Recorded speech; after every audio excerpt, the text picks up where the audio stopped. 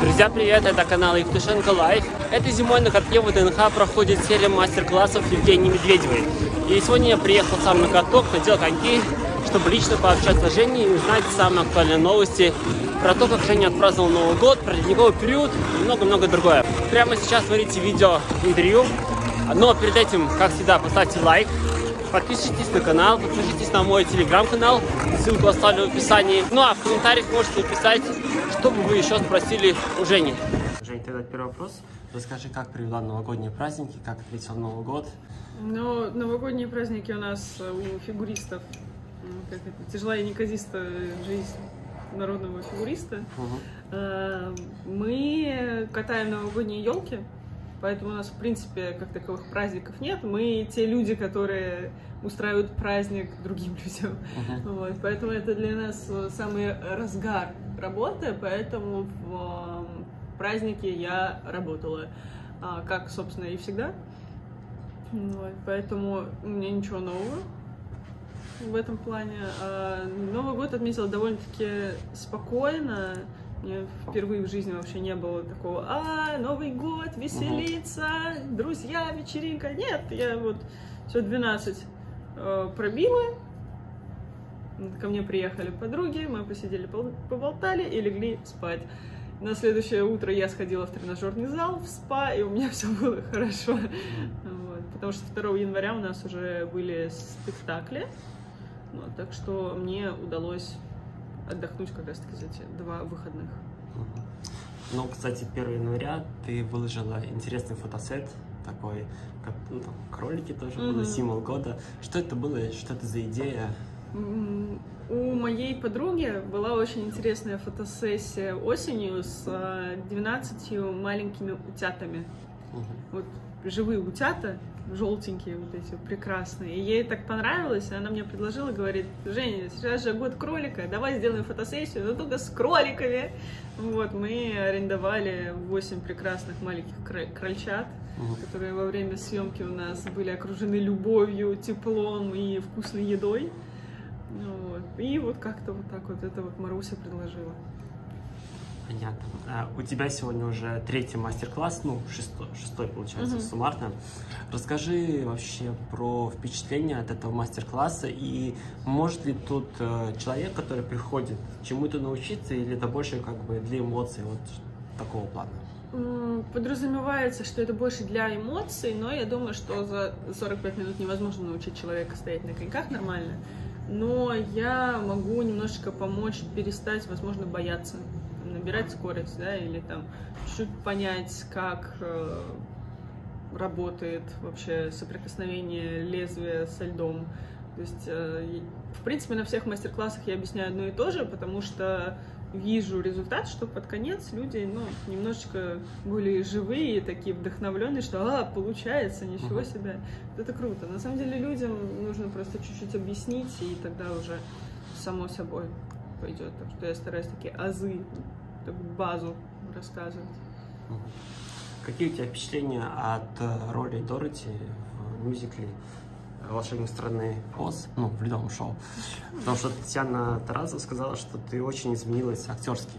Да? Да. И, ну, есть... со стороны, наверное, виднее, тем более Татьяне Анатольевне, которая за мной наблюдает на протяжении всей моей осознанной и неосознанной карьеры.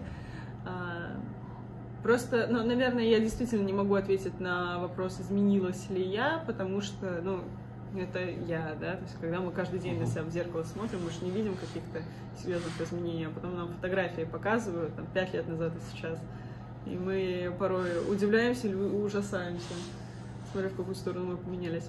Вот. Поэтому я так особо не чувствую, но если Татьяна Анатольевна говорит и тем более хвалит, мне очень приятно, не льстит, спасибо. А второе место в ледниковом периоде. Угу. Как оцениваешь, это больше было как соревнование или как шоу воспринимается? Нет, а как соревнование это не воспринимается, потому что все э, ребята, фигуристы, э, тем более у нас в этом сезоне была битва сезона, по угу. сути, да, то есть все участники, там, больше половины ребят я знала лично э, из звезд. Вот. Так что у нас довольно-таки э, дружный коллектив, не воспринимается это как спорт, все-таки мы понимаем, что там элементы шоу, но у меня лично как у спортсменки, иногда возникали вопросы к э, судьям, то есть к оценкам. То есть э, такого соревновательного спортивного интереса у меня вот не было, что а, первое место, э. А вот хотелось ну, просто 6-0, блин, получить хотелось, и все. Вот. А в некоторых моментах не получалось, и это, конечно, расстраивало. Вот, а так это не совсем спорт. А оргкомитет Олимпиады 26 года использовал твое фото на официальном сайте. Как-то это согласовывали с тобой или это было да, неожиданно? Нет, это со мной не согласовано. И, э, насколько я знаю, это фотографии, это официальные э, фотографии Олимпиады. Угу. То есть, э, видимо, фотограф, который делает эти фотографии, официальное лицо приглашено на Олимпийские игры как фотографом. И если это так, то они имеют полное право использовать изображение. Со мной это не согласовывали, но я, в принципе, и не против. Да? То есть, если бы согласовали бы, я, я бы тоже сказала бы, да. Но, во-первых, мне очень приятно. Очень приятно. То есть, это раздел фигурное катание, именно вот да.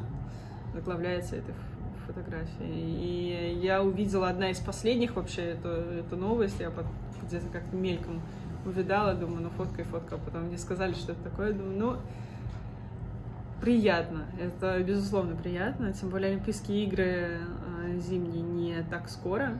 Угу. И в нынешней ситуации это прям, прям очень приятно льстит. И в какой-то степени это даже можно расценивать как некий, может быть, даже знак, что российских спортсменов ждут на международных соревнованиях ну, знаете, я бы одну фотографию не расценивала бы как какой-то явный знак. Угу. Давайте все-таки больше опираться на официальные данные, на официальные решения. И там уверен, что много еще будет всяких разных заседаний, исполкомов. Вот, на такие на такую информацию нужно полагаться, а не просто на фотографию на сайте. Угу. Хорошо, ну это я завершаю интервью, хотел тебя поинтересоваться. Вот ты участвуешь э, в разных шоу, проектах. Что бы ты хотела в этом году попробовать вот именно еще как-то реализовать? Творческие или спортивные направления? А, творческие, ну это лично, лично мое, наверное, это со льдом особо не связано. Я сейчас э, делаю небольшой такой, ну как небольшой, большой э, ребрендинг. У меня, в принципе, почти всегда был магазин собственного мерча. И сейчас я хочу именно более в брендовую историю уйти, да, то есть не в мерчевую, а именно вот для души, то есть что-то такое эстетичное, такое красивое сделать. Вот сейчас мы активно работаем над этим. Мы думали, что в середине декабря уже у нас будут готовы тиражи на продажу, но э, поскольку сейчас все ринулись заниматься импортозамещением, сейчас немножечко сложнее с производством, и у меня есть одна девочка, вот, и мы с этой девочкой вдвоем пытаемся что-то построить. Поэтому с течением времени у нас обязательно что-то получится, но вот с задержкой в несколько месяцев. Вот. Но это как, как хобби, мне интересно создавать что-то свое, это классно. Понял. Хорошо, Женя, спасибо вот, большое. Спасибо.